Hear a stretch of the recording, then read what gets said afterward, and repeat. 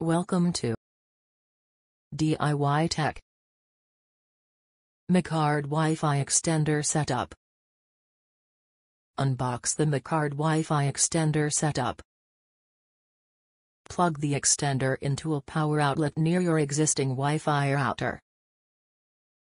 Turn on the extender with an upward flick of the on-slash-off switch.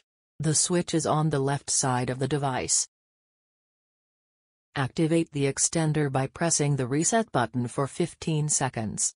The extender will reboot within 30 seconds. Open your mobile settings and turn on airplane mode. Connect your computer or mobile device to the extender's Wi-Fi network.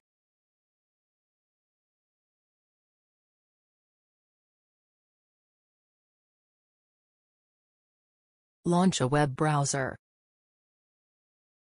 Type the IP address http colon slash slash 192.168.10.1 in the address bar. Or you can type the predefined setup URL of the extender i.e. http colon slash slash go.macard.com in the address bar. Click Login. Wait 10 seconds. The system scans all networks. If after login, the extender opens a page with all settings, please click the repeater mode, and the extender will start scanning networks. Click on the name of the existing Wi-Fi network you want to extend, for example, Home Wi-Fi. Type your Wi-Fi password into the password box. Click the Save Setting button. Once you complete the steps, your extender reboots automatically.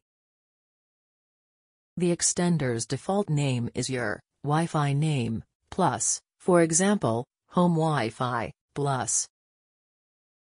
Place it in the best location for better service.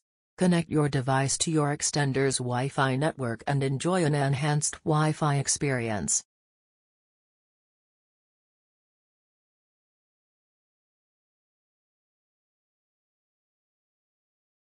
Thanks for watching.